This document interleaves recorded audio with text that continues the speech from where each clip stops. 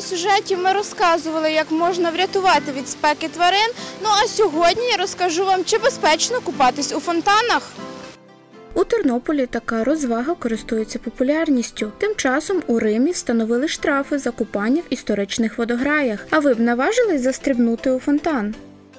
Певно, що ні. А чому? Я думаю, що вночі Тому купаються що без хатченки, вода а вдень грязна. діти. Так, звичайно, так. Знаєте, я не знаю. Я би може і сам заліз разом з ним.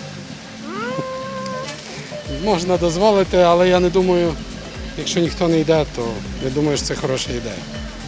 Ні, не дозволила. Ну, не знаю навіть чому. Не знаю чому. Я би не дозволила, чесно, не дозволила.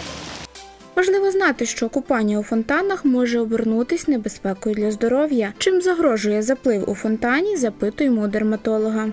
Е, Щодо хвороб, е, з водою можна наковтатися з будників е, ем, діарейних інфекцій, а також мати захворювання шкіри, до прикладу, може виникнути так званий е, дерматит е, купальщика.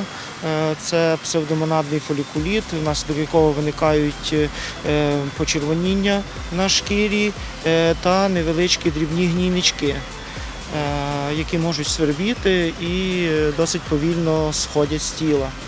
Е, Це переважно буває після купання у, стоячих водоймах прісної води, е, особливо якщо після купання не прийняти відразу душ чи не змінити е, сам одяг чи купальник. Крім шкоди здоров'ю, тривале перебування у фонтані може розглядатись як дрібне хуліганство. На сьогоднішній день підстави адміністративної відповідальності і взагалі засади адміністративної відповідальності визначені Кодексом України про адміністративні правопорушення.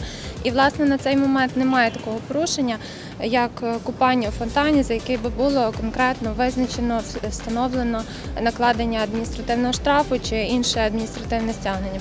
Але якщо ви полюбляєте проводити час біля фонтанів і все-таки хочете охолодитись, тоді дерматолог радить простий спосіб, який допоможе врятуватись від спеки без шкоди для здоров'я.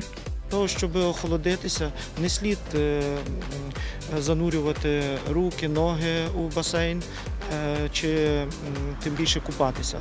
Для цього достатньо підійти в- впритул до розбризкувача, так, щоб дрібні краплі води е, потрапили на шкіру е, чи легко зволожили одяг. Цього достатньо, щоб в процесі випаровування води виникло охолодження.